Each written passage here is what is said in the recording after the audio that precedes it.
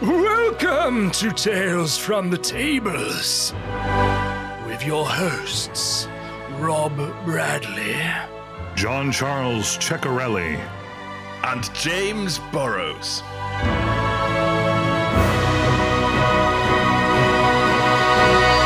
Yes, hello, and welcome to episode 16 of Tales from the Tables. Ooh, 16. Ooh. Yeah, It's a lot of weeks. It's a lot That, that is a lot That's of a weeks. heck of a lot of weeks, isn't it? We're June. We're, we're Juned. We're, Ju- we're in June. Juned. Happy We're summer, We're everybody. joined. We're joined today in today's podcast by Jack Price. Hi, Jack. Hello. Yeah, Jack's one of our esteemed Rolldark dungeon masters. We brought him on to have a little chat. Yes. Indeed. This is Sounds very exciting. ominous. That does. This suddenly Yeah. feels like it just became a like a job interview type situation. it's- yeah, it's a We've little got some very important yes. questions Feels- for you. Yeah, it's got some Feels very important mafioso. Yeah, Listen, Jack, does. you come here on our podcast on the day of episode 16 all right we're gonna we're gonna have to make oh. you an offer you can't refuse all right Yeah, exactly. Yeah, it's gonna get a light down on your your face here. Get some thumb screws in. You know the usual things. Right. How you guys? How you guys doing? James, you had a good week. so Yeah, far? yeah, yeah. Great week, great week so Yeah. far. Um, yeah, I've got a got a job interview tomorrow. Um, Another one. Another one. Huzzah. I, Yay. You, yeah, you love you love interviews, don't you? you are, well, like, it's, all over uh, it. last one Shine. wasn't. interviewing every week. the last one was for an external position. This one is for an internal promotion. So Right. Oh, we'll wow. see how that see how that rolls. Um, yeah, fingers crossed. Yeah. Oh, wow, So I've got best the of interview tonight. and then I'm doing interview prep immediately after, and then I've got to be in Cambridge at 9 a.m. for a, an Ooh. interview. So Oh, that'll man. mean I have to get up around five, and uh, Jade's probably listening to this, and is like, "So that's that's, that's the time I get up every day for work." Yeah. Yeah. yeah, right. Yeah, right. Or JC for this podcast, for example. Yeah, Yes. basically. Yeah. Yeah. Well, um, well, best of luck, James. I uh, I actually have a bit of a phobia with with interviews because um, I went through a few stages when I was living in London where I literally would have like I'd be interviewing every day because like the recruitment agencies in London will just literally throw like interviews at you constantly, and you're just like, Mm. okay, yeah, cool, I'll go, I'll go, I'll go. And for some bizarre reason, I don't know what it is, but whenever I have an interview, I always need a poo. literally- literally, literally, I walk in and I'm busting for a shit, and I'm just like. Oh, and all I can think about is the fact that I Just really having to need a go. poo. Yeah, the sad having to go. Being asked all these questions, and I'm like, uh huh, yep. Yeah. mhm, they're like, do you have any yes, questions uh, for us? You're like, yes. well, Where is the nearest exactly- restroom? It's, it's all about Where- Where's your toilet? and, uh, but the thing is, like, I know, I know that as soon as I get, if I went for one beforehand, like, like I'm, I'm sat there, nothing's happening, nothing's happening. and I'm like, okay, I don't need to go. Maybe this is maybe this is the one time I have an interview where I don't actually need to go for a poo. So I go, cool, okay, great. So I go to the interview, and lo and behold, I'll be sat there waiting for the person to arrive who's going to interview me, and it will just suddenly be like, you need a poo. Go, oh, oh, god damn it. Your body hates you. Yeah, it does. It's just like out to get me. Maybe the fear poo is a is a social mechanic that we need to write into some some D and D rules. I know, seriously. yeah, right? right. Yeah. Like your character approaches the big bad evil guy and suddenly feels the need to poo. Roll a con Is it- save. Disadvantage on, on any Yeah, charisma right. checks as you squirm uncom- uncomfortably as you try to talk your way. Was that a sweaty fart? Mm. Oh. sorry, sorry. You leave that behind for the Sorry. interviewers that you didn't like for the jobs. So you're like, I actually don't want this because Yeah, I want to go to one of the other six I had this week. So That's if Yeah, you've got interviews every single day. That's a very uncomfortable week. Mm. Yeah, it's horrible. It was Gosh. horrible. Yeah. How, how was your week, JC? My week was good. Um, nothing particular of note. A lot of games this this Mm. week. Um, had a couple of one shots. Had uh, obviously another Spectarium game earlier this week. They are officially in the Feywild and exploring around. Um, yeah, it's been going Yeah. pretty well. Nothing, nothing of otherwise particular note. I did not get out to the Renaissance Fair, rather sadly. So, um, which I know it, you, you return listeners that were extremely invested in my social life, um, in my nerdy social life. Um, hopefully, I'll be able to get to one of the other ones in one of the other states that are a little bit later in the year. So, but that's it. Yeah, nothing, nothing of note. Uh, I'm in. I'm still playing BG three uh, when I Yeah. can. Not, not a lot of it actually. This week has been rather busy with family stuff, but um, I am in Act three. So Ah, there's that. three. Finally. Yeah. You'll probably So- catch up with me soon because I've, uh, you- I've not had a chance to get back through much of it. Yeah, same as you. Have, you, have either of you completed it yet? No. Nope. No. Nope. Nope. Okay. I'm 'Cause taking I- my sweet time. I don't even. know. I think I must be like Act Zero. I'm like literally. I'm literally like just wandering around that bloody thing, trying to think like, how the hell do you kill that freaking witch? I'm just like, Oh, uh, oh, right, right, just right. wandering around like a moron. Do what I did. Come back to it real late. Yeah, yeah, yeah.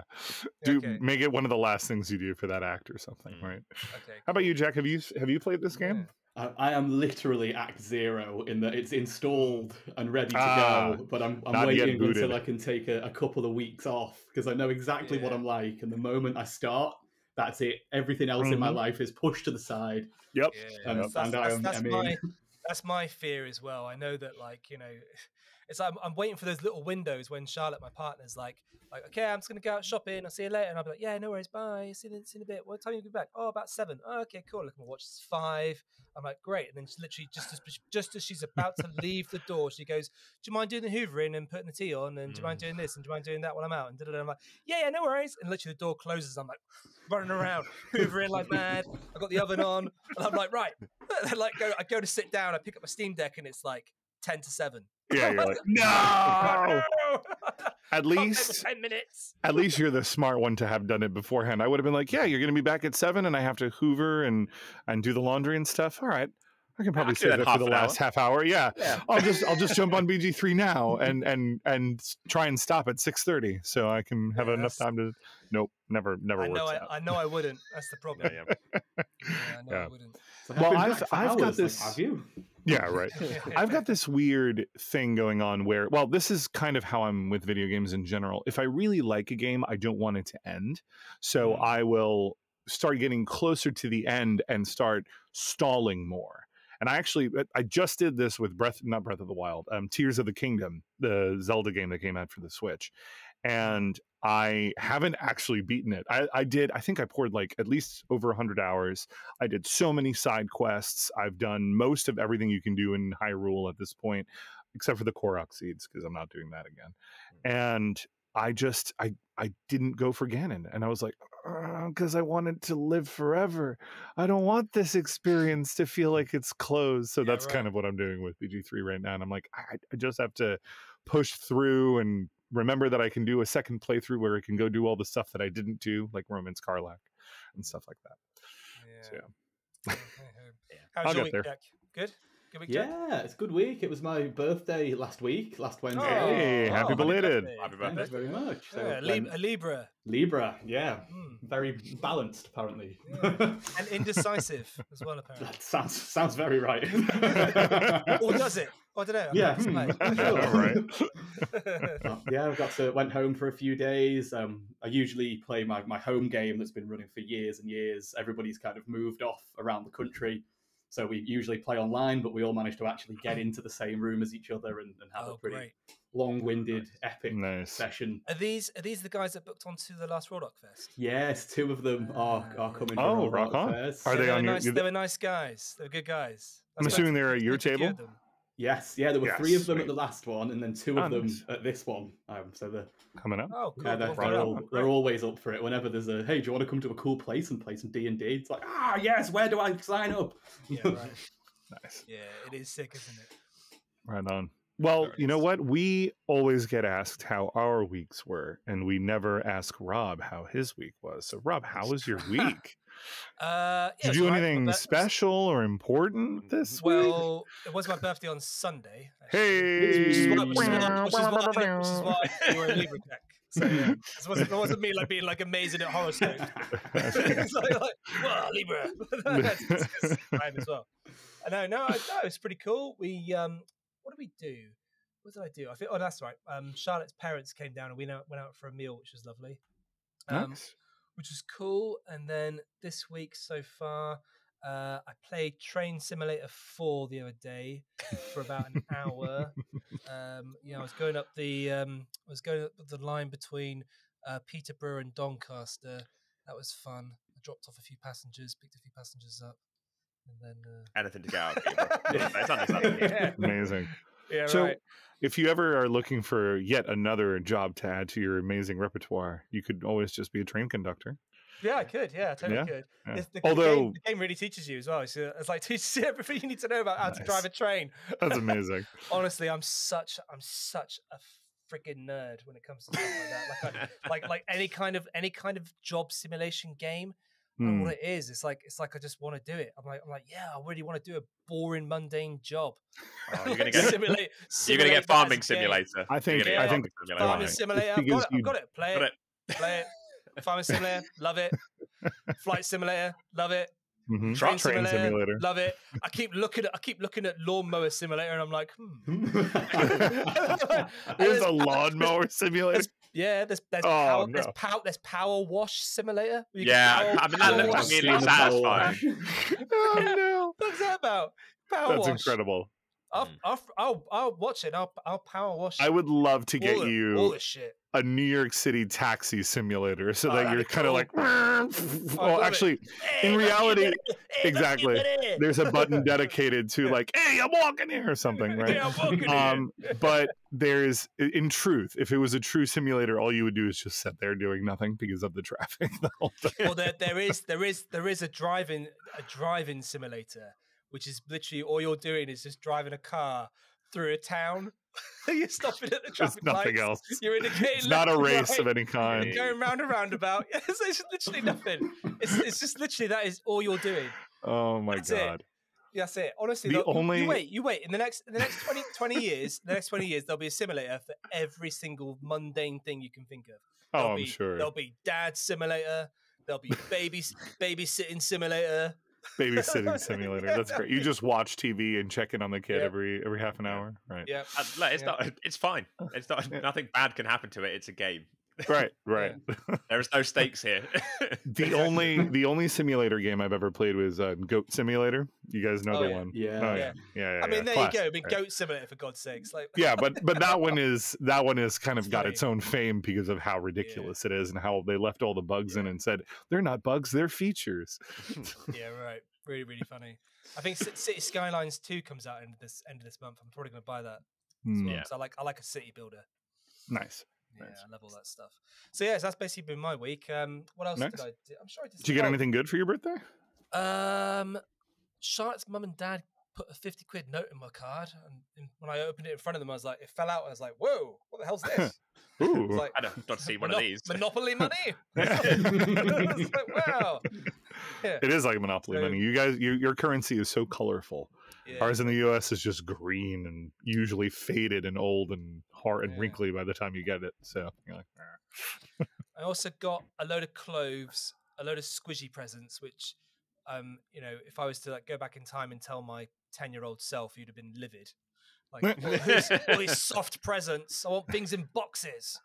It's like, the good ones. They're the toys. oh, yeah, so I I, got a load know- of, so I got a load, not that I'm being ungrateful because Charlotte listens to this, not being ungrateful, Charlotte. But it's like literally Oh. um, warm, like a big, this big warm shirt with like buttons because I'm doing, I do farmers markets now on Saturday morning where I sell my coffee. yeah, So like, so I'm doing that, which is great. Um, coffee simulator. Yeah, Yeah, that'd coffee be cool. simulator. that would be interesting because it is, it is. I do it. I love it. I love roasting coffee. It's brilliant. It's like, uh, it's very similar to making dice. I love that whole Mm. like artisan process. of, Yeah, like, yeah. creating something and you have to like go through like a stage. I think I said the last one, I, I, I- last podcast, I said I'm really into like logistics. Yeah, I'm Yeah. so such a weirdo. Yeah. I, have, I have to agree with you on the on the soft present thing, but and I think and I know that I'm in the minority here, but I don't like receiving socks as a Oh. main present Cop out. at Christmas. So you like are if, not if, if, Dobby. if I if if you like someone's like, oh, I found you some nice socks and I got you this other thing, I'm like, oh, that's nice, and I'll Yeah. absolutely wear the socks and I'll use them and I'll love them. But Yeah. if you just get socks, I'm like, well, I can buy myself socks. Like if I'm in that dire need of socks, do you, do you want to buy yourself socks? That's the thing. Yeah, I was going Right. to say that. I'm I think more I'm in the- likely- I think I'm in the opposite side of it, where I, I bank on getting socks Yeah, at. Christmas. Right, so all right. through the I- year, it's just no, I don't need those. By I September, need I just need people to get me clothes Yeah. because Yes, I will I'm not not spend this. money myself on clothes. So it'll be I'm exact- there I'm was a exactly point in my life where I was like, no, please don't give me clothing. I want toys and games and stuff, right? But now I'm like, actually, I, I could really use a couple of extra shirts or or a good pair of Yeah. nerdy socks. That that'd be okay. Yeah, I'm, They I'm have always like little Triforces on them. That's all right. nice, nice. Yeah, I'm always just buy anything that I want. I just buy myself, Mhm. and the- all the Mm. things that I need, I'm just like, yeah, just get me that for Christmas and my birthday. Yeah. I think the problem I have is at Christmas getting Christmas themed socks because Mm. by the time you receive them on Christmas Day, you can wear them for Maybe half a week, right? Yeah. Right. and then so you're like, well, great. So I've got some socks, but I can't use them Yeah. for most of the year. right. Uh, Yeah, right. And then you forget about them for the next year, and Yeah. then you're like, oh, and the next right. year, with the next year, you get some new ones that you'll then have to wear because otherwise you seem ungrateful for. Oh, Yeah, right. Uh, I am a strong supporter of Christmas socks in the summertime. Nice. yeah, nice. But then, but then like, cookies, but like- like, if you get fluffy, thick woolen socks, Yes, and then, yes. and yes. then you you take them off at the end of the day, and your feet are just oh, it's horrible. Oh, there's some there's, there's some that, that can't be done with. All right, noted. All of you listeners that are trying to, you know, ingratiate yourselves with us by getting us Christmas presents, don't get James any fluffy socks. He's got Yeah, enough right. going on. He's I- I got bought myself- going on. Slipper socks after uh, Jade Ooh. introduced me to to them because she has Slipper loads of pairs slipper socks. So they're like uh, big, thick socks um, that have like uh, grippy feet on the bottom, so Mm. that they, they don't slip like regular socks if you've got hard floors everywhere. Yeah. So you wear them like slippers. You wear them like slippers. Um, and your feet, ta- and your feet stay really toasty, I guess. yeah, they're so toasty. So Oh toasty. wow. the, the toastiest feet. The Okay. toastiest feet. Yeah, this is a D&D Slipper podcast. socks. Slipper socks. I'm gonna put that down on my little list because that's a that's a good one for, for gifts, isn't it? Slipper socks. And they, yeah, they, they do make good gifts as well. Yeah, slipper socks. Hmm. Okay, cool. I remember that. Nice one. So, James, any RPG news this week? I'm sure there is some. Yes, um, we've got we've got a little bit. Um, so Pathfinder remastered previews um, have been coming out. Um, so there is a core preview file. Um, there's some changes they've been making. So, for instance, spell level is now spell rank. Um, right. They've removed spell schools entirely. Um, and there is apparently a new spell format that I've not really quite managed to get my head around. I'm not a Pathfinder player, so glancing over it has not really uh, imbued much knowledge. They've, remo- they've removed spell schools. What, as in like the like like abjuration, and- conjuration. Yeah, Yeah. they're no longer spell Yeah. schools. So it's just why, why do you think they've done that? Simplification, probably. yeah, Yeah. um, which is weird because Pathfinder's u- is being sort of the more complicated Right. out Right. of That's always been the, D&D. that's always been the stellar be- Pathfinder, isn't it? There's Yeah. the Yeah. complicated version of D and D. deep dive. Well, it's a more so number crunchy version. Yeah. It might I- be that they've I've replaced played Pathfinder. If if anything, sometimes it's actually feels like it's simpler. Like Mm. Five E, sure, streamlines it a lot, and and Pathfinder does have a lot more number crunch because things give you actual numerical bonuses or or Mm. penalties rather than advantage and disadvantage being kind of king and queen. Um, but all the same, their their action system is brilliant. Like you can basically instead of having like an action and then a bonus action and your movement, you just effectively have three things that you can do on your turn and you can and those three consider them points. Those three points can be spent interchangeably. You want to attack three times that's all three.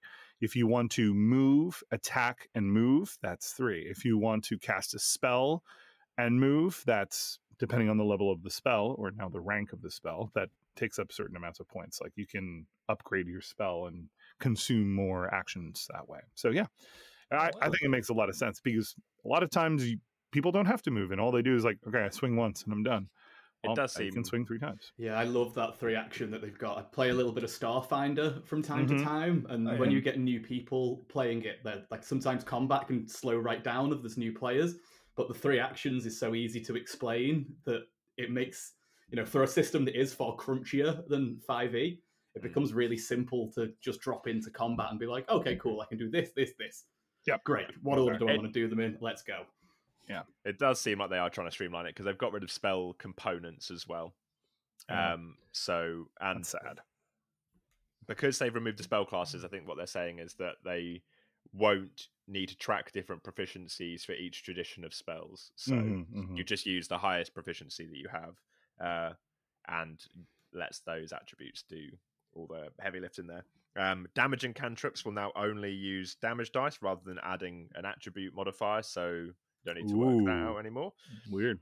Um, so I imagine they've upped the damage dice um, to make up for removing the modifier. Um, Mhm. And focus spells, so with longer casting times, have had their casting times reduced, so you can use them in the middle of encounters more easily. Oh. Interesting. Okay. Okay. Yeah. Uh, I I always feel bad when revisions come out that cut flavor. Things like spell Mm. schools and and Mm. components. I I love that kind of stuff. It's Yeah, if, it, a lot of people ignore it, but I think Mm. you can have a lot of fun with it. Sometimes you're trying to keep the game moving and you forget about components altogether. But I mean, it can be a lot of fun if you know you. For instance, I have a rule in my games where if you want to, I kind of modify how counterspell works for five E, and I'm saying I, say you need to be able to see them using components, and then you need to roll an Arcana check to determine what kind of spell it is before you go about trying to cancel it. Right. Yeah. So. I I'll describe maybe you know if it's if it's a component based spell you see them digging into their pouch as they pull out a small sphere you have a hard time seeing what it is but then you notice that it's what looks like guano and they're like oh no they're casting fireball you know that kind of thing oh wow, yeah, Yeah, exactly. love yeah, it definitely gives like a, a more of a narrative to um, the idea of what spells are by having Mhm. their own school. You know, it just gives them that level of depth. You Yeah. know? it's like because because I guess in a way, you know, magic doesn't really get explained too much in Dungeons and Dragons, like where where it comes where it comes from, who was the first person who ever like harnessed it, and how and why, and you know what I mean. Whereas like the Right. schools of magic has like it gives you that sort of in on like some kind of history and some kind of you know association to it. It's a shame that they'd they'd want to get rid of it. in yeah I hope, I hope, yeah. I hope they don't. I hope that doesn't. I hope they don't copy it in D and D and do it the same with the new one. they're out. What I don't because there's spells like um, detect magic that gi- gives you this this school of spell that you are detecting. Yeah. So if you're trying to detect traps, you can sort of be like, oh, is it an illusion? Is it Mhm. something that's going to be evocation? is evocation? it necromancy Is it is necromancy? it Yeah, can you- evocation Yeah, exactly. So I don't know how they're going to work around stuff like that. I guess if you were to do, I don't know what the version of detect magic is in is like in Pathfinder, but presumably it was relatively similar. Hmm. Now you're just going to detect. Are you going to a room? You use detect magic. Yeah, there's magic there. It's a Yeah, little right. bit less interesting, isn't it? Like It it, it's a little less thematic, and Yeah. but I don't know. I imagine maybe that there is more to this than we're seeing right now. Hmm. So okay. Mm. Uh, Ooh, actually, they- you know what? I pulled it up. Uh, Detect Magic in Pathfinder, which is the name of its spell, is actually pretty interesting. It's a cone shaped emanation, meaning it's effectively where you're facing, right? Yeah. It's a range of 60 feet. And here's how this one works you detect magical auras. The amount of information revealed depends on how long you study a particular area or subject. If you do it for one round, you just notice the presence or absence of magical auras. On a second round, you note the number of different magical auras and power of the most potent aura. And then on the third round, the strength and location of each aura. And if the items or creatures bearing the auras are in line of sight, you can make arcana checks to determine the school of magic involved in each one. Right. Um, yeah. So that actually gives you a lot more information than and it and it keeps going. There's like tables to this and there's a detect magic comma greater version of the Okay, spell yeah. as well. So yeah, it's a lot more wh- involved. So what are Okay, the auras exactly? Are they do they and if they were detecting different types of auras, are they different schools of magic auras or are they Yeah, yeah. So they have different kinds of uh, schools of Uh. magic. I don't remember them off the top of my head, but I know that they're relatively similar to D and D, or were, I guess, since Yeah, they're yeah, yeah. yeah. going so, away. So they're gonna have to change that whole spell, aren't they? I guess then. yeah, Yeah. Uh, they've announced the core race, uh, core ancestries. Sorry, they are not using uh, the word races or species. They've gone for ancestries. Um, Right. so dwarves, elves, gnome, goblin, halfling, human, leshy, and orc. Um, leshy, if I'm correct, is some is it like a dryad type forest? Yeah, it depends on the myth, but that's where Leshen from The Witcher comes from. So it's, Yeah. it's a spirit of the forest. Sometimes it's a malevolent one. Sometimes it's like a yeah, more of a dryad sort of type. Oh, that's cool. Yeah. Oh, okay. I've actually mostly seen it as as Leshy. I've mostly seen it as this sort of large green tree like bearded Mm. man. Um, I know I've seen that in a couple of different Yeah. games before. Like a nymph. I- Um, kind of, but usually even greener and Oh, bigger. wow, okay. yeah. I was sure Pathfinder had its own version of tieflings. Do they not? Hmm. Uh, this there's not listed on the core in the core for the new core rulebook. Oh, Mm. okay. So um, yeah, versatile heritages, so extra options of mixed ancestries between those and extra planar origins. Uh, characters can only have one heritage and one lineage feat. That doesn't mean that other bloodlines don't show up in an interesting ways in their DNA. So that sounds cool. Um, I don't know exactly how that's going to play out though, but uh, I mean, it certainly seems interesting if you can take be a half half dwarf, half elf, or half gnome, half leshy, or whatever. Half dwarf, half giant, and just come out as a normal man. Yes, Yep. yeah, right. that's the combination we're looking for. Um, yeah, I'm a human, but I'm not. Hmm. um, Cool. and there is some Starfinder uh, stuff as well. Uh, they've done a field test for Starfinder Second Edition. Um, that is live, and the first five levels of the Mystic class, um, along with a few new Spa- uh, Starfinder 2e spells, um, have been released. So, apparently, the Mystic is a class that relies on its connections and forming bonds with fellow party members, uh, and the connections help customize how they use their Vitality network, um, which it looks like allows them to be powerful healers. They're, they seem to be cleric e type characters, um, which I, you can see when you go with a mystic. That's got a cleric y monk type vibe um, to the description there. Hmm. Um, yeah, they can be connected to deities, but they won't be required to worship deities. So there's some w- wiggle room there if you want to play a, a, a sort of clericy type healer that doesn't actually need to learn a load of stuff about a religion to get into character. Cool. And what's what's Starfinder like? Is it um what kind of obviously I'm guessing the setting is space, but what type of space setting is it? Is it quite It's a fr- cartoony space or is it It's fantasy space, isn't it? So it's um, Yeah. Yeah, I think, so- Jack, you probably know more than I do. the the universe setup of it is, if I remember rightly, the the planet that Pathfinder is set on. Yep. Um, if you fast forward like a few thousand years into the future, that planet has gone missing, Oh wow, cool. and there's been that's this cool. ar- arrival of these kind of like techno gods and a few other little interesting things that have happened.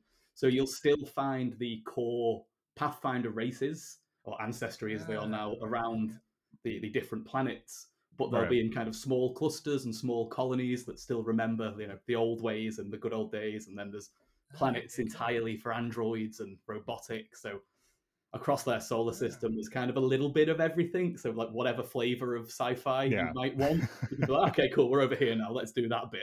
Right. So there's fantasy, space, sci-fi. There's futuristic sci-fi. There's like probably war sci-fi, like more Yeah, Warhammer Absolutely, stuff. there's there's whatever you're looking for. They've they've got a planet with it on somewhere. Fair. Great. Fair. That's cool. Nice. That is the benefits of sci-fi, where you can just be like, ah, yeah, we'll have a planet where we want to do this one specific thing. hmm hmm Sick.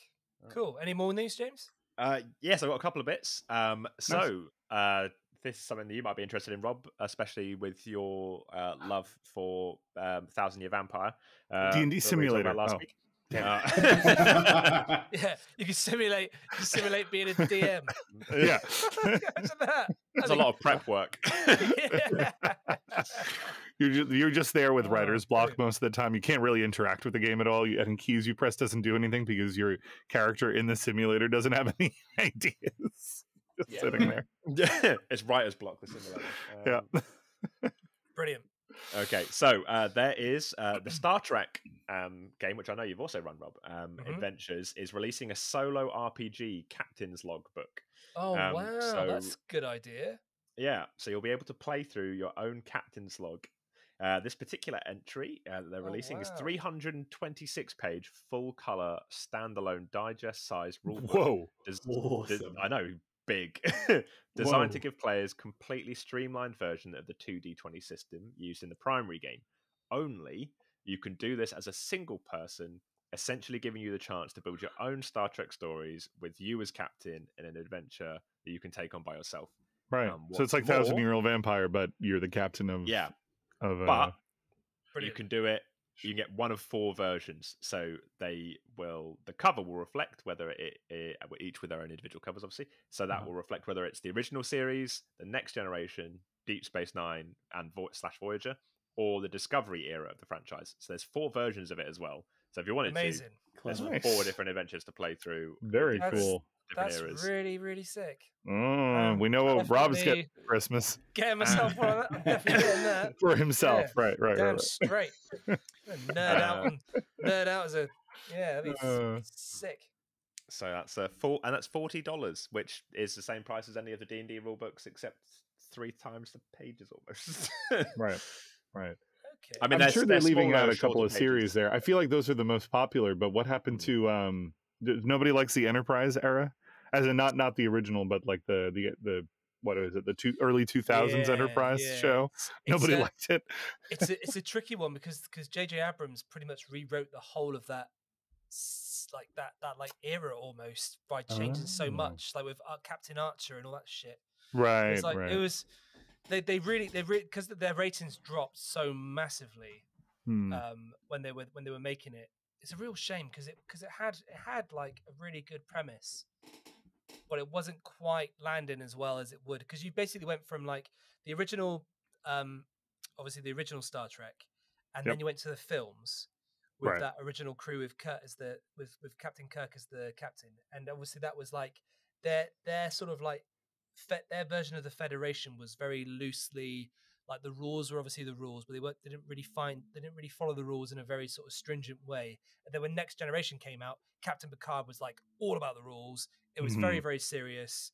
You know, Next Generation like really sat apart. And when you had those two films, those two captains come together in Generations, it was like, oh yeah, you could really see the difference. And right. with Cap- when Captain Archer came out with the with Enterprise, it was like there was like no rules, and everyone was just like gun ho, and and humans were like really like like naive about like you know like races and things, even though that they dealt with having you know like Earth has like different types of like people Hmm. on there, and you'd have thought they would learn their lesson by now, and yet they don't, and it's like it's a bit like uh, it, it really jarred with with like the direction of where it was going to then Right, go back, but not To just go back. but then back again.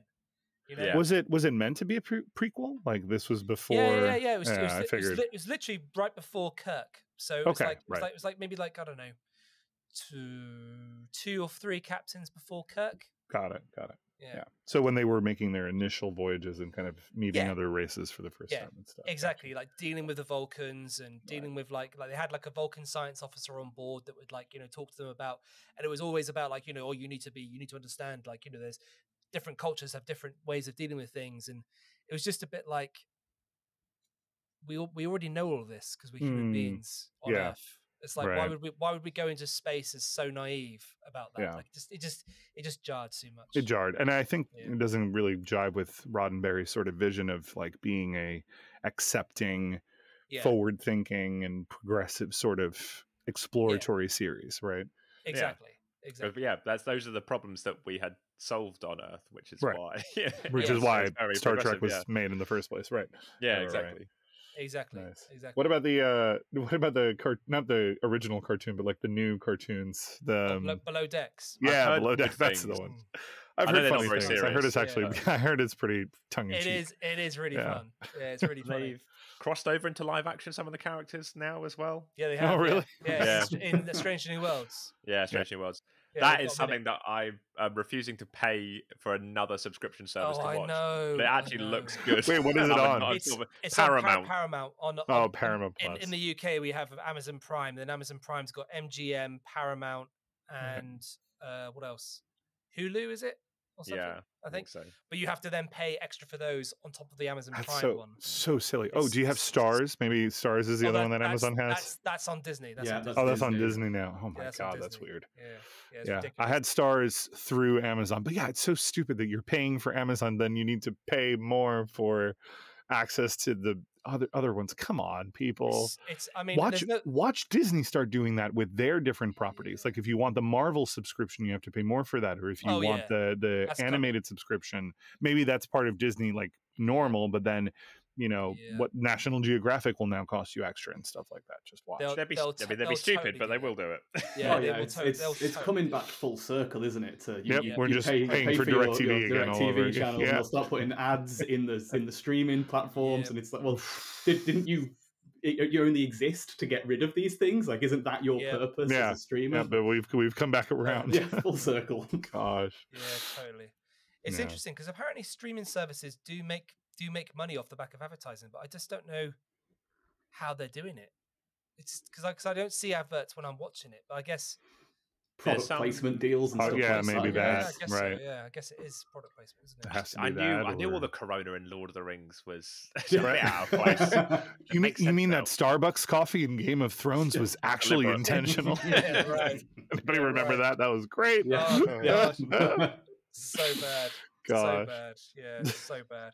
God, do you guys do you guys watch Game of Thrones? Do you like Game of Thrones? I do. of I used yeah. to anyway, I, up until season eight. Oh, But. I could I could see because Morons. if you if you watch it, you sort of see this this the slow devolving of that show, along with the creators of it. You know how they used to give those after episode brief interviews, and you would see them.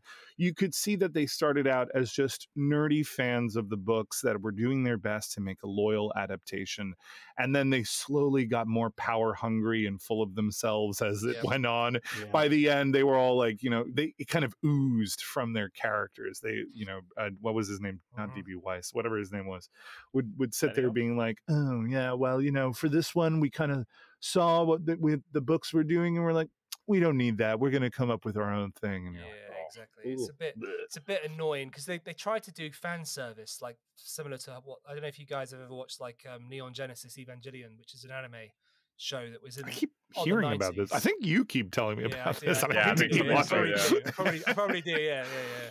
I'm a bit, uh, Jack. I'm a big anime fan, by the way. Let's see my Gumper on the thing. Oh yeah, awesome. Yeah, it's corny. So yeah, it's, it's literally like um.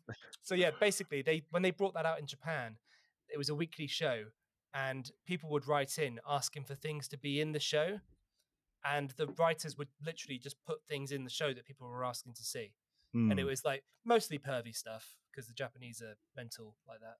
But um, but um, but yeah, it was like it was all like pervy shit that they wanted. Uh, but uh, I think with Game of Thrones, they had that in terms of like like with Jon Snow. Certainly, they really wanted to like because because I, think he should have he should have really died. He Hmm. didn't die, interesting and there should there should have been like some kind of like epic sort of showdown between Khaleesi and and the Lannisters. That we never really got We never yeah got. We cersei never died got. from falling rocks and i remember everybody Oh, was like what Yeah. that's after like, all that After all this, Yeah, i know That's such just such an epic character. Like those, like and then and Jaime as well. Jaime's character arc was so good. It was beautiful, and then they Fucking- ruined. and then it. they Yeah. ruined it. They just shat all over it, and you're like, why? It's- it was, Ah, I like Bri- Brienne, him, him and Brienne's like their relationship. Like, where did that go? Yep, That was nowhere, such a beautiful nowhere. relationship, and it was and it was a relationship that wasn't romantic as well.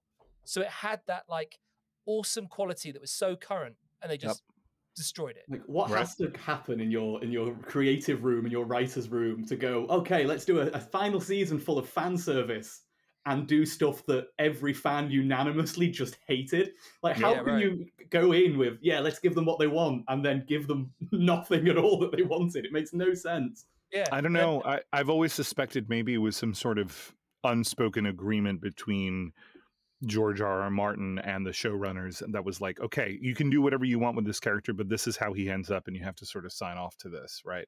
Mm. Because that seems like a very Martin thing to do, being like, oh, did you did you like where we were going with this? Did you like this character? yeah Tough shit. Yeah. Um, Yeah. yeah. House of the but- Dragon, House of the Dragon's good though. I haven't Yeah. started watching it. Really I, I I got so badly That's- burned by season eight. Oh no, no, JC, JC, JC, you're in for a treat. It's Okay, like all right. it's like I- I do intend on giving school it Game a- of Thrones. It's Okay. great. It's, It's yeah, great. it's the best, the best And of Game e- of Thrones. even yeah. even the change in actors between when she gets older, Mm. like just works yeah they pull it off Nice. really well. They did. How's, they did a how's really my good boy job. Matt? How's he doing? he's doing He does a good job. yeah, he's yeah he's in it from the all the way all the way through. Hey, he doesn't age um like real life. Uh, No, like real life. Oh, yeah, yeah, yeah. So he is a vampire, right? I am excited that um speaking of Matt Smith and, and all that, I, I saw that David Tennant is coming back as the Doctor for Doctor Who, and I'm very excited about that. I'll that means I'd actually probably get back into Doctor Who after not having watched since halfway through Capaldi. So we'll see. I, I, I- really, I, I love, I love the idea of Doctor Who, but I just don't like what they're doing with it. I just think Hmm. it's, I just think they're they're push, they're they're trying to cram in too many different ideas that Mm, make it that make it a bit that makes it a bit silly. I haven't listened. I haven't watched it since, like I said, halfway through Capaldi, so I'm not caught up on Mm. anything of what they've been doing with like the last two or three. The, the thing that gets me is that they, they I think they badly cast the doctors so often. Mm. Like Peter Capaldi, really good casting for him. I thought he was perfect. I would love to have seen like Jeff Goldblum as the Doctor. Like, like, he would have been, he would have been superb. Oh, can you stop imagine? it, Can you, Rob! im- can you no, imagine? Can you I'd imagine? no. I mean, I can, but Oh, someone, does someone uh, call a, uh, a doctor? yes, just be- yeah. Here we it just- go. This one, be- it's starting up. Yeah, great. Oh, wait, I forgot. goes- I need a quantum spanner. yeah it just it just goes back to like that like um like people that are that seem very alien in themselves as actors like like like christopher walken would have been I can amazing see that. he'd have been amazing right Wow. God, wow. Just- Where are we now? like- what is Wow. this place? Whoa. it would have been great it would have been great the My Daleks God, two hearts. My God. I got two Don't. but people, by the time he says don't blink to people, people have already blinked because he takes too long. Don't blink now. Oh, shit. It's too late. you get you get what I'm saying though, right? Like Ian McKellen, Ian McKellen would have been pretty good. Oh, that would have been cool. Well, there's I mean, there's any, Ian loads of McKellen, choices. Ian McKellen in anything is cool. Yeah. so, Yeah. yeah, I can't, can't go wrong with him. We're just we're just flam- flamboyant actors that are already flamboyant Hmm. I think playing Tilda a role Swinton of a character that is flamboyant. Great. Yeah, Tilda Swinton would have been good. Tilda, Tilda Swinton. Oh Just- yeah, yeah, that would have been yeah, that would have yeah, been any- awesome. to anyone like that. right? I just I just don't think Jodie Whittaker was like a flamboyant. Per- she was she was having to act flamboyant. Do Hmm. you know what I mean? Like she- Rather than like she had- be which, naturally. which is fine. Mhm. But you just you just see her like she used to live near she used to live down the road from where me and Charlotte lived in North London, and we used to see her Oh. all the time walking, Wow, her kids, weird. walking her kids to school, and we'd be like, "Oh, there's the, doc- there's Doctor Who," and no one noticed her. No one would like pay any attention to her, and I'd be like, "There she is, Doctor Who, just walking down the street." like that. Whereas like Peter Capaldi looks like he's like you know, hello there, yeah, he's crazy all the time. eh? It's like- Mad, it's angry. like, just plugged into the mains. Yeah. oh, I'm the doctor. You know, and and, God. and and what and I think what's his chops is play uh the guy you mentioned. What was his name? Tennant or Matt yeah, Smith? yeah, Matt, yeah, yeah, Ten- Tennant, Tennant's incredible. Brilliant. Yeah. Matt Smith. Meh, don't know. Don't know. I like. You know what's funny? I re, I'm my favorite will always be Tennant. Um, but yeah, I thought it was great. I I liked a lot of Matt Smith's um hi the story and the writing for his episodes and his series. I thought were actually really well done. The whole ah, I forget exactly what it's called. It's been a, over a decade since I watched it, but when um the whole kind of recurring theme of the crack in the wall. Do you guys remember that? Yeah. and how yeah. oh that yeah. was back when I still attempted to watch it. yeah I Like I, think, I think. I was very young when the ten when the Tennant one came out, so I was like a a, a young teenager. So Right. I watched that. I think with my with my parents, it was one of the things that we watched together. nice. still. nice. And then Oh, my parents would have never pretty much after this. Well, my parents watched it as kids and it used Right, to terrify right. them apparently. So Oh yeah, yeah. they were like, "Yeah, Because it was scary. classic when it came the back." Classic stuff. The classic Doctor Who is like horrendously terrifying. 'Cause right. It wasn't because it wasn't aimed. It wasn't aimed at kids. It wasn't for kids. right. But it would go on at a time where it would be like maybe pe- maybe kids, Maybe kids like sort of Are watching it? bedtimes. Yeah. But mhm. they could still watch it, and if you're like, if you if your dad was a bit of a soft touch, be like, yeah, go on, you can watch it, right. and it would just be like, like there was like one one with um the guy who played Wurzel Gummidge as the Doctor, and he Oh, was wow. like, he Yeah. was he was brilliant at it, and it and he was like there was there was one where there was these creatures coming out of the sea, and he was they were all held up in a lighthouse, and it was really terrifying. Sounds very like, Lovecraftian. Like, like they were just like stuck in a lighthouse, and there was these things coming out. Exactly, exactly. That's what Doctor Who should be. It should be Eldritch horror.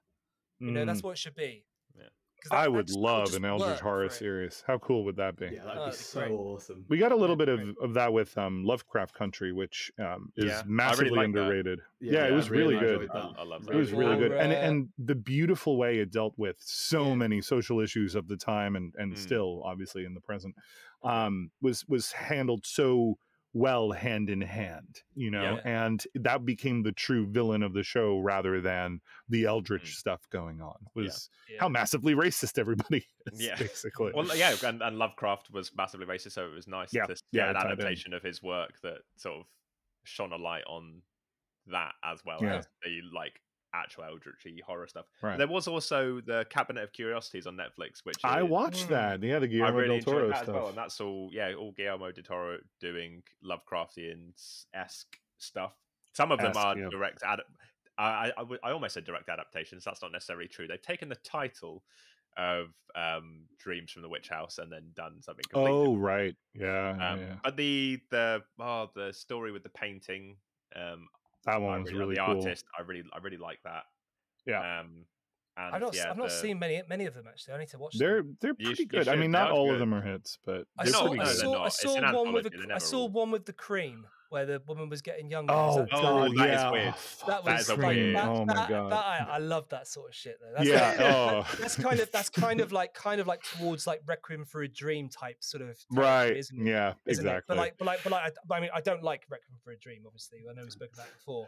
That's like that's like the too that's the too far to. it that, took it a in that little too far. Right. Right. Yeah, yeah. That, in that direction. Yeah, but I um, like the I like that, the rats. episode. Oh god, the rat. Remember the rats?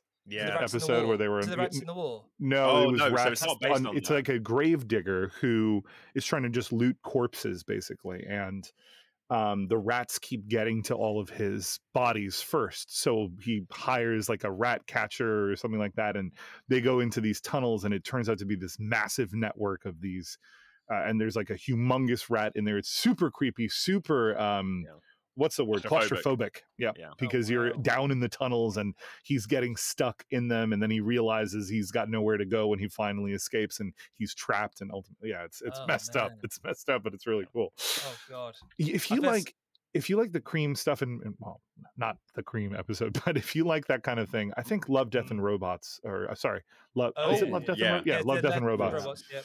Would Yep. be really, really good. I almost Some said Love, those episodes are Sex, really and cool. Robots, and I was like, no, that's not it. I think my, one of my one of my biggest fears is being buried alive. That's like a Oh, then you need to watch the Yeah. rat It's episode definitely- Okay, on Halloween. Yeah, that'll really, Have really you guys- ruin your sleep for a few days. yeah, Yeah, brilliant. yeah. Have you guys um have you guys ever heard of uh, where uh, Saved by the Bell comes from?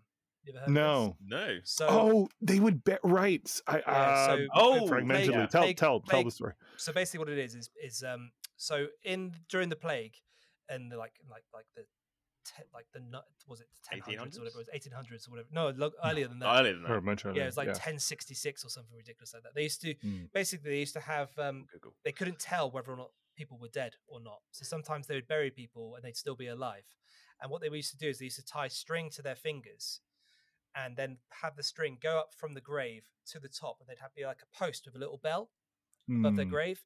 And basically, if you woke up inside your grave, you would start scratching, you'd start clawing at your at your coffin, and that would then start pulling the string, which would then dingle the bell, which would alert which would alert this man who would stand who would sit there with a spade, and he'd be on what's called the graveyard shift.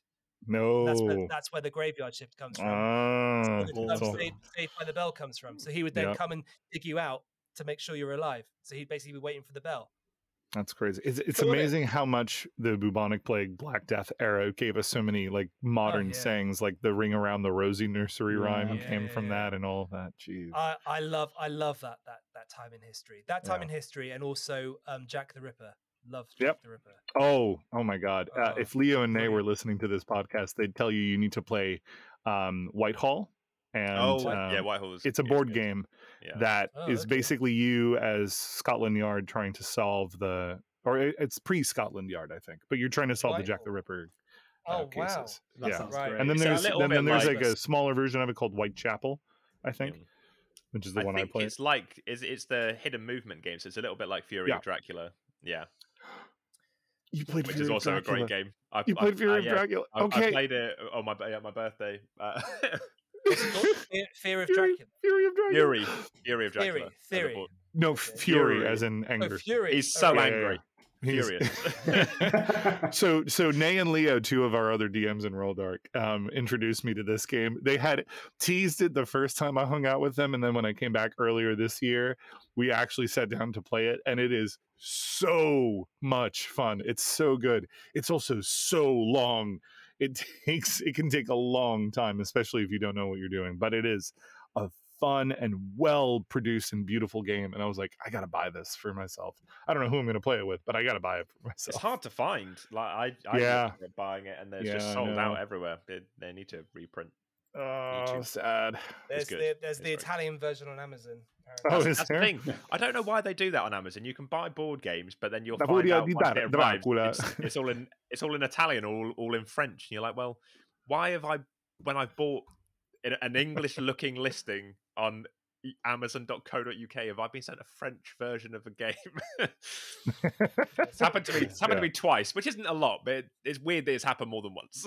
Yeah, right. Yeah, the, the first way, you, the first part of learning to play the game is learning an entirely new language. Just add an extra difficulty level on top of things. I, I mean, listen, But it's people- fun people and tell you. educational.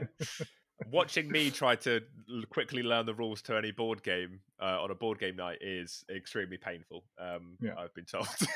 Yeah. uh, it's not something that I'm very good at. I need days of advanced prep to learn games. oh, We- I mean, we- there we is. Took, we took we took a, it took us a day to learn Twilight Imperium. We literally Yeah, sat down. that's- with, I've got like, that. that that tracks. I was like, oh my good god, this game is ridiculous. there is a digital version of it. I don't know how good that is. It's available on Steam and uh, Xbox, whatever they call it. I'm in the- Microsoft. yeah. I'm it's in the process with some of my players of uh, of organising a date to finally play Twilight Imperium. Hmm. Oh yeah, But I heard um, it's incredible. I've never played, it's, it, but it it's looks apparently massive. amazing. great. it's Yeah. great. You guys played Scythe before? You ever played Scythe? Yes, I've I got played Scythe, Scythe I've not played it. Scythe's great. Scythe's a Yeah. lovely game. Yeah, brilliant artwork. The artwork's fantastic. I, I feel like I've mentioned this before, but I'm a huge Betrayal at House on the Hill fan. Oh. Um, and I every time I hang out with people, I'm like, can we just can we play more of this? Because I've only played about 25 scenarios, and there are 80 in the book, and I want to know them all. I want to Yeah. figure out each one. But yeah, one day, one day, maybe I'll uh, when I when I um, am there in late November for Rolldark Fest, I'll rope all of you guys into doing a game night. yeah, why not? Anywho, Yeah. so I guess Yeah. back to the news. Yeah. Yeah. What, any Uh, more news, James? Yeah. Um, there is a little. There is a little more. There are a couple of uh, Blade Runner tabletop RPG um, expansions coming out. Uh, one at the end of this year, and then one at the start of next year. So, um, the first one is called Case File Number Two: Fiery Angels. Um, and, in, and it is uh, an investigation um, that starts off with Blade Runners assigned to question a suspect arrested while trying to infiltrate the Wallace Corporation memory vaults. Uh, the case Cool. leads the team down a perilous path that explores the boundaries of replicant technology and its consequences. The player characters need to contend with an array of physical, mental, and moral challenges. Uh, though Fiery Angels is a standalone adventure, users who have played Case File 1 Electric Dreams will experience a continuation of story elements from that narrative. Um, I don't know if that's a direct continuation, but um, yeah, Okay. Cool. Very you interesting. ca- take characters over. Um, but the boxes that they're releasing with them will all contain a beautifully illustrated uh, scenario book with locations, characters, events, uh, and leads to follow, plus a manila envelope containing around 20 different handouts, a variety of in world artifacts, and uh, Esper photos. Ooh, And that sounds cool. It does sound pretty cool. I'm into I- that. If yeah, any anything you can sort of give players to immerse them in the in the game world is my jam. So Yeah, yeah, yeah, I'd, uh, Yeah, I love, get- a, I love a good handout. It is the, the Yeah. most seeing the look on people's faces when you get out uh, anything for them and start to pass it over. It's Mhm. Like, oh, Yeah. it's Something Christmas. physical. Come early. Yeah. I'd like it. I, I bought a whole ream of parchment esque paper just for that reason for my printer when I was still running games right before the pandemic in person. And then I got three weeks of that, used it once, and the pandemic hit. I was like, damn it. Uh, so then, and also half a dozen, which is a fair amount of full color double sided maps. So, well, Whoa, Great. nice. Wow, Nice. That's really cool. uh, and then the next expansion they're releasing next year is Replicant Rebellion. Um, so um, it will expand the scope of the core game, allowing players to join the ranks of the Replicant Underground in Los Angeles of 2037. Uh, characters are an independent cell, loosely organized, um, and undertake a variety of operations, helping fugitive Nexus 8 replicants elude capture to sabotaging install, uh, installations of the replicant industry. So there's an overview of the history and organization of the Replicant Underground, charting its presence throughout the entire Blade Runner timeline, so including the movies. Um, detailed guidelines on how to play a Replicant um, Underground campaign and That's play cool. as a Replicant, um, including several new player character archetypes and half a dozen complete operations, um, i.e., adventures to play for a cell in a Replicant Underground. Uh, yeah, Nice. so Sweet. Pretty Yeah. interesting. That does That sound is- really yeah. cool. That is the sounds news great. for the. Uh, I've not tried the Blade Runner tabletop, but I know one of our DMs is has run. Um, and I Yeah, Mike- the life Mike of me does one. Mike does one Mike. one a month. Yeah. Which is what's it called? Edge of Chaos? No, that's something Uh, else. that's something else. Um, That's actually. Um, That was the pod, That was the. we- we that's talked- yeah, did. we the- talked about That it. was a stream that we did. We did. This, that was a stream. It's um. oh, right, uh, right, right. Blade Runner. Uh, ba-da-ba-da, ba-da-ba-da, uh, quickly goes on website. Has a quick look. the Icarus Ascension. There's, got you. there's a lot. There's a lot of. Uh, there's a lot of games out there. To be fair, Rob. Blade Runner, the Icarus Ascension. Very cool.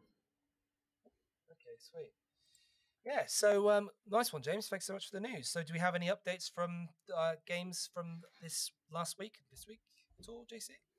Uh, uh, Tales from the Tables, we have uh, a very wonderful submission from Face, but due to time constraints, I'm going to let you um, just reach out to him directly if you'd like to hear it. It's a wonderful write up. Um, get him, get the link from him. They're really, really good. Um, but I do have one myself, actually, from over the course of this past week. So that I Cool. that I've been keen to share. Um, but maybe we should start with Jack because yours sounded a lot of like a lot of fun too. Yeah, I mean, we Yeah. had a we had one of those incidents where the, the players do something so extremely epic and and heroic that it totally destroys my prep for the whole rest of the game. Lovely. so this is in our Keepers of Chaos campaign where things are Mm. always really weird and there's a lot of odd odd moving parts, big random Great. table of chaos rolls that where anything can really happen. Hmm. How long? How long have you had that game going for, Jack? Ooh, about a year and a half or so, I'd say. Yeah, now. it's pretty long Yeah, we're- running. we're- nice. Level We'll do, a little, eleven. do a little shout out to your players. Yeah. Oh God. Yeah. We've got a quite a big revolving cast. I think there are nine of them that kind of Nice. come in and out. Nice. Um, but yeah, we've shout out to the whole Keepers of Chaos crew. You're all absolutely awesome, even if you are an absolute pain in my ass when you derail derail all of my things. yeah, right. Um, so, um, so on this this section of the quest, the the chaos magic that has been kind of bouncing around the land and causing all kinds of problems, um, it's been somehow dripping into the river Styx and making its way Mm. down into hell and having all sorts of horrible consequences to that. So Nice. to to get their way to the the section of the river they need to join on, they they're going through a vampire nest. And I had this awesome encounter set up. There were three tunnels that led to a kind of central chamber. They Hmm. all arrive in the central chamber, and it's like, great, perfect. They're doing exactly what I think they're going to do. They awoke the the kind of lead elder vampire, and all of his little priestess minions could Ooh. bat, bat form and teleport themselves straight to the master's side. So I was going to have them all in, you know, f- they're fighting the main guy in the center. The three pathways that come off it were going to have a priestess in, and I was just going to close in on them, surround Yep. them, and just grind them down into a pulp. Nice. But our paladin, Tove Skysnarl, played by the incredible Sean, um, rolled in a really high initiative, which, if you know our game, that is unbelievable. He's never rolled high initiative in the whole time. He is natural ones for initiative basically Oof. every time we play. It's unbelievable. We've got a running James joke is nodding. He's like, yeah, Yeah. I feel that. That's me all the time. Well, we have this running oh, joke yeah. that he just struggles to get his sword out of its she- sheath and drops it every time. Like, "Oh, oh, oh, oh." but for once, he rolls extremely high and gets to go in before the uh, the priestesses can be summoned to the master's side. Being a paladin, he walks right up to my boss monster and one shot kills the thing. No, It was something ridiculous, like um, because in natural twenty, he, he had all of his extra Oh, paladin of effects, and I think he did something like 145 points of damage across his couple of swings. So he just one turn decimates my villain, destroys my tactics. The priestesses move in and they're just they're penned into a corner and just beaten to a pulp by the rest of the party. And Oh I'm sat there like, well, this was one of the most epic things I've ever seen. What the hell do I But do with the what rest do I of do section now? Amazing. What level are they? um, Eleven. Oh, oh yeah. Well, yeah, so paladins are getting dangerous, but paladins Yep. in natural twenties are getting even more ruthless. divine s- stacking smites at that level, plus your improved divine smite, which is just Yep. radiant damage on every hit. When you crit, yeah, they're crit monsters. They could be dealing upwards of hundred damage a turn at that level for sure. It's it's dangerous, but I feel you. My my uh, wayfinders on Saturday, my team game. Um, they are also right now fighting a vampire boss that they've been kind of um, dealing with for quite some time. And I think in one and a half rounds of combat, they're level 16, but I added a ton of vampire spawn, but they all rolled terrible initiative. Um, so they they didn't get to really interfere with what the party was doing until the end of the round. But they got up to her. She's um, she's a character from the Ravenloft setting. She is called uh, Alcio Metis, posing as Baron Metis, and uh, she kind of runs a secret organization, an evil coven of vampires in Darkon, which is one of the worlds of the Ravenloft setting. Anyway, um, they got her down from like 150 to like I, I shouldn't say the number in case any of the wayfinders are listening, but 20 something, yeah, right. 20 Okay, something. so- so- And it, we haven't quite finished the combat yet, but I was like, she's had, she's been able to cast two spells and done Mm. almost nothing else. And I gave her all kinds of cool magic items. She has one of the flying swords. So finally, she was like, all right, she's just going to cast greater invisibility and try and run away from the party at this point. So that's where we're at. They're still dealing with it, but they're close. They're real close. And now they're like throwing AoEs everywhere to so, sort of see if she's in that corner of the room or in this other corner of the room. She was in a huge like sauna bathing in a blood tub the whole time. Nice. Yeah, she's she's a she's a right psychopathic creature. Yeah. the best ones are. The best ones. Yeah, exactly. Yeah. No, anyway, Jack, I feel you. That's epic though. Yeah, Mm. great, great fun, but yeah, really, really problematic. I- I managed to extend it a little bit by um, there was one of the vampires kind of thralls that was very recently changed and still was a little bit unsure about his. Uh, oh God, I'm a vampire now, but he's all about career progression. His name Nice. is Jeff. So if I get a career as a vampire, I've got a long time there where I'm, I'm undead now. I can make my way up the ranks. Um, he refers to himself as the Mighty Jeff. Welcome Oh. to my lair. Jeff. I am the Mighty Jeff. Uh, so the, the mighty Jeff pleaded for his life with the paladin and effectively Yeah. said, uh, "I will swear myself into your servitude instead of the servitude of this this vampire monster if you Hmm. spare my life." Um, ah, he's still grappling with the morality of that, but the, the mighty Jeff lives on for But the time being. are you kidding? When he sounds like that, of course you say That was it. Yeah, This it's is- when the whole party started to laugh at him. Was like, okay, we're keeping this one, are we? Great. So I've been watching a lot of what we do in the shadows, and he's kind of reminding me a bit of I was. Nandor. I'd been watching it at the time, and I think it just bled straight into. I I didn't realize till after the Yeah. session. I was like, "Oh damn, that is." I've just what we do in the shadows, my my horror level, and turned it into a comedy. Yeah. That's. I had just started that show when I was doing the end of a Strahd campaign, and I couldn't help myself. This was my home game. I couldn't help myself. It was a super epic fight, high stakes. They were giving it their all. They had all these awesome magic items, but Strahd was so strong. And they were at the top of the rooftops on Ravenloft. And I was like, oh God, he's got to flee because otherwise he's going to get really boned by that sun sword. And he just goes, Bat? And turns into a bat and flies away. But I couldn't, I couldn't not say it because it was in my brain because of Laszlo. Bat. bat. Gosh. Brilliant.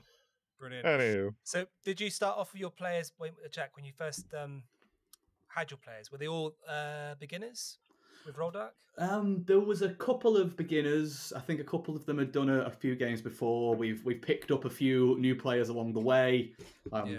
You know, kind of dropped a couple, moved in and out depending on people's schedules. But yeah, they. I think we, we started off, it was just a one shot that kind of has spiraled out of control into, into where we are now. Right. Um, but we've got one one of them from that one shot has played every single game for Wow. the entirety of it and is Whoa. is always there. They're a, they're There a should be a Goliath prize for that, you know? Yeah, there really should be.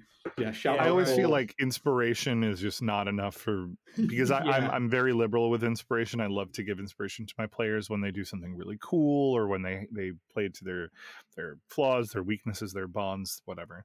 But Yeah, nice. um sometimes the role play just dials it up to 11 or they do something out of character like attend every session for such a long stretch of time that you feel like yeah i could give them a magic item that's super cool or ask them what they want but like i feel like it's not enough like i wish there was something more i could do maybe an epic boon or something like that you know but then Hmm. how do you balance it because you know if they're level five you don't want to give them an epic boon just yet yeah. so Yeah, right. Yeah, Yeah. okay, cool. So, so on the on, so have you seen like um your players go through like a real journey in terms of like their knowledge of D and D and how they th- how they make the characters think and Yeah, how behave, yeah? absolutely. There's been, I mean, the character arcs from them all are, are so amazing. Watching this development of them all and all the little relationships and interplay between all of the, the members of the group. It's it's Yeah. just so so epic. Like a few of them Mm. have, have got this um kind of sibling rivalry type relationships going on, and they're always trying to one up each other. And brilliant. now, whenever we kill anything, they harvest every single piece of it that they can. Because Oh we take God. it, we take it back to the, the keep of chaos, and they make their own items out of it. So we've Oh, got that's kind cool. of, um, that we killed a Morkoth in a Oh, I um, love two shot not long ago, and Yeah. the, the beak of the Morkoth has been turned into kind of magical knuckle dusters for the monk. nice oh um, wow. We've got someone with um, tentacle gloves that use the suckers for spider climb. that's awesome So, so oh, they've, really they've cool. fully started Oh just my just God. harvesting everything, and then Oh between God. campaigns they'll write a list of okay, this is what we got. What are we going to build out of all this stuff? All so this they, they, the first session of cool. every every new campaign arc is just them going right. I'm going to try and build this. I'm going to try and make this thing next. I want this Brilliant. over here. So yeah, we could we could probably write a full book of, of homebrewed items that they've just come up with themselves over the last Wow. like, eleven levels. yeah And how I how was use, that first um, instigated? Sorry, sorry, JC. How Yeah, was that yeah, yeah. first? How was that first instigated amongst your players? Then, with them creating these things. So we we have an incredible um, blade sing um, blade singing dragonborn uh, wizard who Right. is their kind of entire goal in life is to build a a monstieri that is more detailed and more accurate than what Volo has managed to make. ah, like that's their- cool their It's a great goal really great goal. So they were always Hmm. studying, kind of taking notes on whatever we encountered and whatever we killed. But then, then they they went off and, and kind of homebrewed up what would be a pathologist's kit by googling what was what was in what a pathologist would normally have. Um, oh wow So from there, that kind of mechanic just spun out a little bit of, of God, can I use my pathologist kit to to cut that chunk off? And like, what properties does that have? So, well, I guess it would have this, this, and this. They were like, oh, right. So if I roll a high enough check, would I be able to fashion that into something new? Like, oh, hell yeah, let's Mm. let's see what happens. Like it's chaos campaign. Look, You make whatever the hell you want. It's not Right. going to be as weird as what I'm throwing at you. So so let's go. Hmm.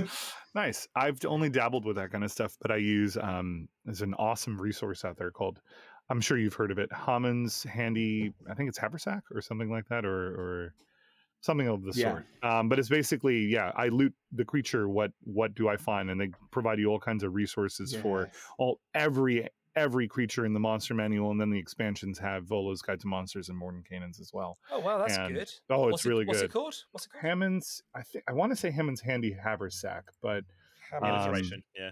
Yeah, I'm not sure that it's haversack now. I, I might just be getting that confused with the item in the game. Um, I can look it up in a second because I have it buried when, in when, one of my when, files. when a player loots, when a player character loots, say, um, another uh, like a, a monster or like I don't know, like a person they've killed or whatever. Um, when they roll a natural one, do you? or- Well, first of all, do you, do you make them roll an investigation check for them to loot, or do you just let them just go through their pockets? I usually make them make them check to see to see Yeah. how how cool it is because I think it's nice if they do get like a natural twenty to be like, oh, cool, I'll give you something awesome here. Yeah, make yeah, that, sure. make that Mhm. twenty feel special. Or if they get a get a one, it could be oh, you reach into their pocket and there's a loaded mouse trap in there. Like take a couple Right. of Oh, okay, sweet. damage so you can, Oh, okay, can that's a swing it both idea. ways. Yeah, that's Yeah. a good idea. Yeah, Okay, exactly. cool. And how do you guys come up with these? Do you just like have like a, a repertoire of what you go through in your mind, or do you have like a list, or what do you do? I usually just make it up on the fly. Um, Really? See what whatever they've killed, see what kind of comes. What what what might they have on them if they've been using a weapon? Mm. You know that's probably there. Or you know, with the vampires, it was you can take their teeth and a pile of dust. That's all that's left. yeah, basically. Yeah, right. right. But now we have uh, one of our rogues trying to make a uh, like a poison out of the vampire dust. Um, Oh, wow. Ah, and interesting. Wanting to make Okay. things out of the teeth that can. Their plan is Oh, to make the teeth kind of sap HP if they can use them for an attack. Um, Right. to try Oh, and get wow. get some of the get some healing back if Yeah. they if they use the teeth. So Wow. yeah, they they come up with such good stuff that I now just give them like a couple of tools that I know they're going to run off and, and play with. Do their own thing. Yep. Yeah, just sit back and let Brilliant. them w- watch for an hour while they do Right. all sorts of awesome experiments. I That's found the, great. the resource that I was using, and it was not Handy Haversack. It was Hamund's Harvesting Handbook. That's it. A wow, guide to harvesting and crafting in D and D 5e, and yeah, they have something for every monster here. This is this is a great resource, but yeah, I've totally done the same. Um, I've eh, off the cuff been like not had this on me, and they were like, "So you know what what can we salvage from this here?" And I'm like, well, it's got horns and scales and yeah, the proliferation of claws. And can we get a lightning sack from its throat? And I'm like, yes, yes, you can. Great. Can I can I make a uh, a lightning rail gun using a combination of its horns and the and the lightning sack and mount it onto this sort of crossbow base that I have? I'm like, yes. Wow. Yeah, a lot of the times the players will lead you into what they in their minds have decided they Yeah. can do with the body of the creature. Oh, and yeah, you're just right. like, yeah, sure, yeah, yeah, that's that makes sense. Like, oh, okay. A lot of it is just can I take its skin and whatever resistance it has, can I then create that into armor or shield? yeah, or yeah, that that's or a common cloak? one. Yep. Yeah, Or can I make it into a shield or something like that if it's Mm. like a carapace? Yep. Yeah, I've I, had ima- that a I, lot. ima- I imagine Jack being a DM must be like just sheer creative fuel for your writing career. Oh yeah, I, I always call it the the storytelling gym. It's like going and doing Yeah, right. reps and lifting weights because you know you can plan a plan an idea, plan a story, and then Nice. suddenly you get the players and in the chaos game the chaos table, and all of a sudden you're telling a totally different story to the one that you planned on. But you you know rolling with those kind of punches, I think just makes you a more dynamic storyteller just generally, and Mhm. definitely helps me writing movies afterwards. Yeah, great. For so, sure. but- so as a, as a writer, then, when you prep your games, how do you how do you prep? Do you prep like do you have like a like a, a set in stone sort of method that you do, or is it is it always different? Well, how do you how do you approach it? Um, it, it kind of varies to be honest with you. Sometimes if it's a kind of a new campaign or a, or a one shot or something like that, it'll just come from a okay, this seems like a great idea. I know I can do something really fun with this, whether it's a mechanic or a character or some kind of plot hook, and then you Hmm. know lay that down, and the players will inevitably change that straight away. But as you start kind of moving forward through the campaigns, like with the Keepers of Chaos, there's almost no point in planning too far ahead of them because they Yeah, will right. they will do something absolutely insane to, to change the Yeah, shape yeah, of the yeah. game. Sure. So it's kind of rolling with the punches a little bit, and, and the things that they come up with, and the things that they say, and the interactions that they have, just keeping a running list of kind of inspiration ideas for me. Like, oh, they talked to this Yeah. guy. They had a weird encounter with this thing over here. Like, I wonder what that could be. Can I link that to that and link that to that? And then all of a sudden, the picture starts to build. And characters that I thought were just kind of, well, even just improvised NPCs. They just got chatting to somebody, and all of a Mm. sudden, something will happen in that improv, and it's got on my little note list, and it'll come back round six weeks later, kind of thing, as the oh yeah, he was a bad guy the whole time. Like, I didn't know it at the Mm. time, so you couldn't possibly have known it at the time Yeah, right. but he has been, and I think it just turns into trying to stay one lesson ahead of the class. It's like real substitute teacher vibes, and trying to figure out what comes next. Yeah, right.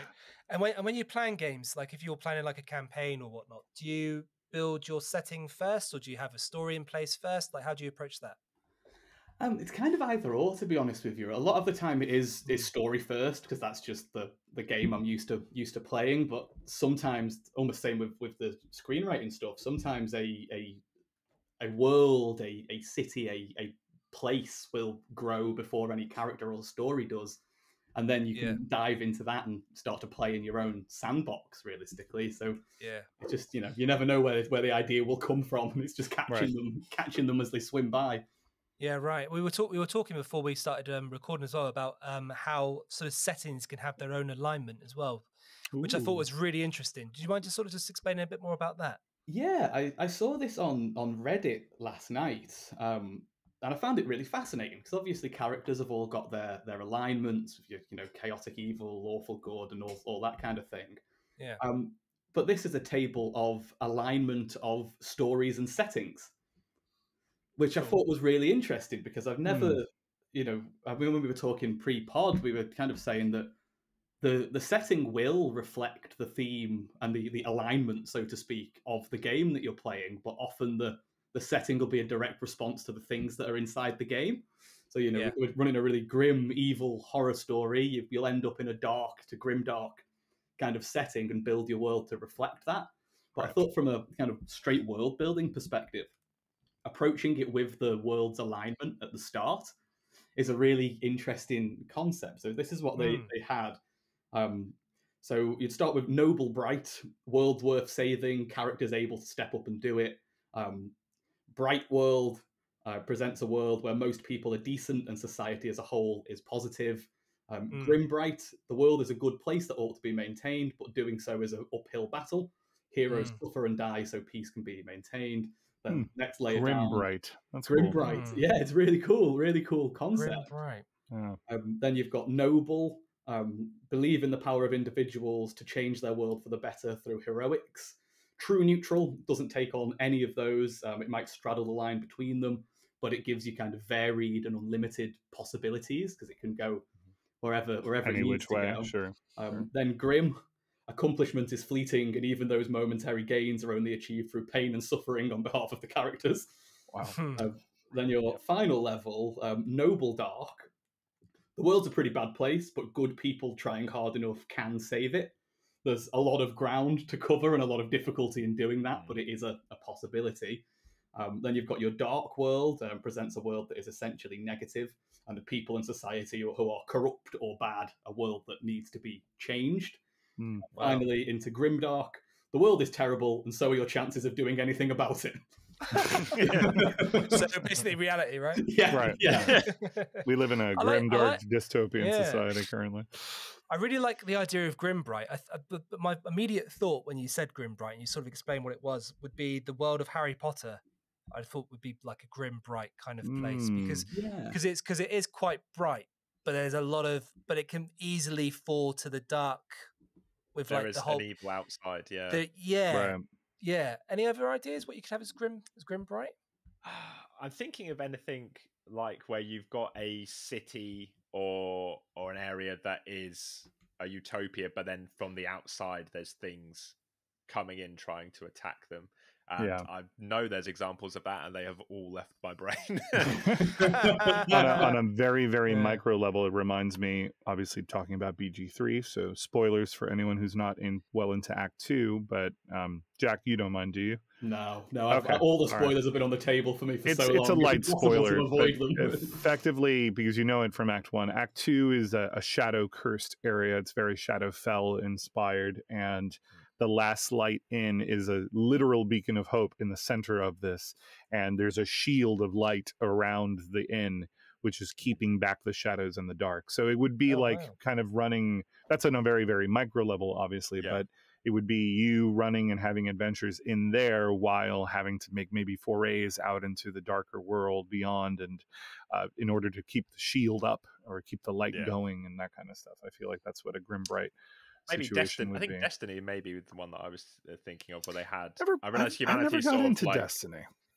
Uh, it's been a while, but they have mm. the um the like the home base you have for the traveler, and that is trying right, to keep out right. the evil around it. But I, I, to be fair, it may it's probably not a utopia um, in in the center of the society either, but it's sort of nicer there, and everything outside is outside of the safe zone is is awful. Mm. Um, Hmm, cool. I hmm. yeah, I would love to like get this list and then try and think through existing IPs and, and worlds and properties that would match to this. Like which one is the Mass Effect world? That feels like it's a like a noble bright maybe i'm not i'm not quite Hmm. sure similar to star trek but then what is what is the lord of the rings because that's all over the place that's probably a neutral setting ish depending on the age i guess but yeah you could you could attach different sort of stories and and ips and stuff to see which one's Hmm. which that'd be kind of a cool I want to exercise say Yeah. Grim For sure. Grimdark, uh, uh, maybe Game of Thrones, but even then, uh, there's some bright spots. There. yeah Uh, everything lot of it's everything is Grimdark. screwed and everything you do in it is also screwed and at the end of the day no matter what you do you're all basically screwed Screwed. Uh, while, Um, while everyone's screwing. yeah, yeah while everyone is Screw literally squared. Oh, Basically, what's God. going down. Cool. Well, um, any other anything else to add to this episode? I I have an Ooh. "Am I the asshole?" question Ooh, relating to okay. Am I the arsehole? Wait, is this a personal thing? Not a, not a RPG horror story thing? The answer is Uh, yes, James. no, it's not. It's not from one of my games. Uh, but Oh, right, could- uh, and it's a player asking if they've done the wrong thing at their table, and I'd be interested to see as as DMs what what we think. So, uh, the table, the the story is: uh, Am I the asshole? Ru- rules lawyer, me, caused the party to fail. yes, then. Okay. well, okay. Uh, I'm that kid who reminded the teacher we had homework. We were infiltrating a castle to steal a rare relic, and rather than fight our way through the castle, we decided to cast fly on the ranger who would sneak in to steal it. Nice. There were too many. There were too many enemies inside, so the ranger came out and suggested we create a diversion when he went back in. It worked. We drew out most of them who engaged us in a fight. The ranger stole the item and was flying back when the wizard failed a hold person from an enemy inquisitor. That's when Hmm, I said, See where this is going. That's when I said, don't forget, fly ends because paralyzed breaks the concentration. Groans around the table. Really? You had to say that? The ranger fell 50 feet right in front of a dozen guards who saw him with the relic. He was promptly captured and taken back into the castle, and then we ended the session. Oh, oh. Afterwards, Hmm. the DM private messaged me, "Hey, you probably had good intentions, but I was aware of para- I was aware that paralyzed ended flying. I conveniently let it slide because I wanted you guys to succeed, and you were so close. But after you said it, I couldn't ignore it. right. Another player private messaged me less nicely to say, "Hey, dude, can you just keep your mouth shut next time?" In my defense, if we if we had to cheat to win, it feels like an undeserved success. That's true. Yeah. Um, yeah. So there were a couple of edits to it. So eh, the first one was a DM's response to uh, on hold person. I cast hold person to add the feeling of stress to the situation. I was expecting the wizard to counterspell it. If I knew he ran out of spell slots, I absolutely wouldn't have cast a spell that would break concentration. That was my fault. Uh, she, he then said he showed this post and this story to the player as a poll at the bottom of it as well. Um, the player who told me to shut up has just left the game. Whoa. so- yeah, yeah. You know what? That tracks. That Uh, seems exactly like what somebody like that would do. the options for what he should have done, uh, or or your reaction to it. So I would have done the same thing as as OP uh, and said something. I would have ignored it, but private messaged the DM to be like, "Hey, what's going on here?" Uh, three, I would have ignored it, or four, I would have done something other than any of those options. Um, the over now. I know. I, I say what I won't tell you the overwhelming uh, response to this. Majority. your- yeah, Yeah. before I get your responses. What what would you have done as a as a player and then as a DM in that situation? Do you think? I think it might say a lot about the way I, I run my games, but as a DM, I would have been delighted to be reminded that they're about to get put into a really, Yep. really terrible situation that I can use use to my own benefit for other games. Um, And you don't even have to take responsibility for. yeah, well, yeah, I'm not Oh, the I, guy. I'd, have, I'd have totally missed that, but like he's right. No, yeah. Yep. I have a lot of thoughts about this. Um, Go for it. First of all, the only asshole in this situation, in my opinion, is the player who left. yeah. That's I, that's how I feel. If you if you are messaging players in between sessions to tell them to keep their mouth shut, you don't really have a place in my games um, because I'm trying to build camaraderie most of the time, yeah, right. and and I especially not on a private level. Like if it's a joke in the game, like oh my god, why'd you have to say anything, you ass? Mm. Fine. But not in between sessions and not that serious. And if it bothers you enough that rather than rolling with the punches and seeing where this new cool story develops, it, it goes from a heist to a jailbreak at this point now, right? It's changed the the dynamic of the tale. Um, and you're not in for it and you leave the game, then you never had a place at the table, right? Like have fun, bye. Don't let the door hit you on the way out, basically. Yeah, um right. I always try and be respectful of how the fact, you know, that everybody f- wants something different out of D and D, and maybe they're like super optimized and they want things to go exactly according to plan. But you have to understand that D and D isn't like that, and the the introduction of chaos that other players bring will always change the dynamic of a game. So you have to be flexible, and you have to understand, just like I learned when I rolled the dice for the first time and I thought I'd ruin the game, the game was over, But the game continues. Like it's not over. It Mm. just changes. It just means the DM has more work to do at this point because they have to make a scenario in which rescuing the ranger is feasible. You know? Or unless it's a grimdark world in which the ranger's screwed and then they roll up Yeah, a new right. character that will also probably die in a few sessions. I don't know Yes. but yeah as a as a dm it's hard to say because i don't know the whole stakes and the scenario and stuff but i mean if they had a person who logically could cast hold person mm. and and you know they have like magical defenses for this place then yeah they should use it right? Like there's there's Yeah. stakes. It's it's going to be difficult. If it's more of like a beer and pretzels game and it's just like a fun romp maybe i wouldn't have put a mage in there that has that level of a spell but I don't know if it's a serious campaign and this was a serious object that has a lot of value to the story, then yeah, of course I'd have it well defended. As a player, yeah, I think what he said at the end, it, it doesn't really count as a victory if he cheats because D and D is a, it's still a game. It's a cooperative storytelling game, right? But at the end of the day, there are mechanics that we have to observe. Otherwise, it loses the game element of it. And for that matter, we could just sit around a campfire and talk to each other and build up a story as we go, like an Mhm. improv game. But because it's a game and there are chances of success and failure and there are mechanics we have to go into, yeah. I've had plenty of people remind me all the time about how things work, even, and I've done the exact same thing. I've sort of let things slide, like, you know, they really need to get out of a bad situation and they need to cast Misty Step, but they've already cast a leveled spell that turn. Sometimes they'll be like, oh, yeah, conveniently, I forgot that you can't cast two leveled spells. And they move out just to sort of give them the chances. But if someone reminds me and I'd be like, oh, yep, he's right. That's right. You you failed your concentration check. The ranger falls 50 feet. Here's the hmm. 5d6. So Yeah, it's just the way it is, right? It's just, just like the way it you is. know, yeah, you just got to roll with the punches, and if that's the decision Mhm. that gets made, if the player decides to tell you, then that's the way it goes. You go, okay, great, thanks for letting me know. Here we go. Because at the end of the day, you are also a player, even though you're the DM. Yep. You are still playing the game. Yep. Right. And it's, you, do you know what I mean? And it's it's that that often gets lost among the players. They don't seem to Mm-hmm. real. They just think that you're there for their purpose, which I guess in a way you are, but at the same But time, you're also there to play. You are doing yeah, exactly. In, in order Yeah. for the game to actually be good and be fun, Right. the DM work, has to yeah. be, and to work, the DM has to be the DM.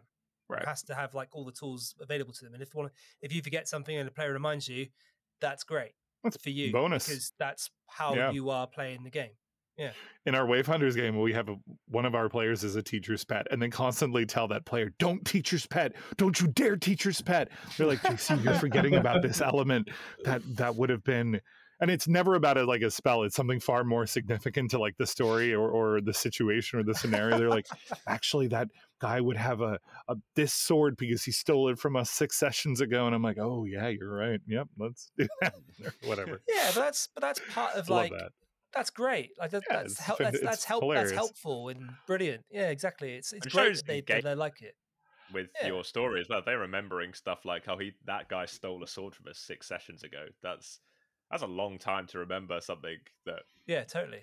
theoretically. Oh, yeah, the- well, the brains of teens are far more are far better at, at memorizing and remembering little details than mine could ever Yeah. be. So yeah.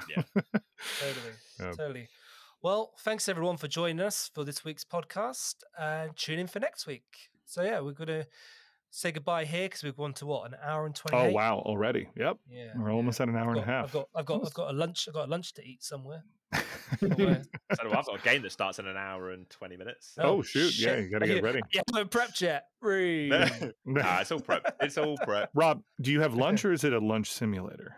It's a lunch simulator. It's a lunch simulator. I, like literally, like I literally like have to play a game where I like make a sandwich, then I have to go like get a yogurt from the fridge, but then like I find out that my partner's at, at the yogurt that I bought her Yep. and me. She had both of them. Then I've got to like go and kick off to her, but I can't kick off because yeah, yeah this is, uh, ugh, life, life simulator. Yep. Life. All right, everyone. Thanks Cool. ever so much. Cheers, Bye everybody. bye. Cheers, Bye-bye. everyone. Thanks, Bye. Jack.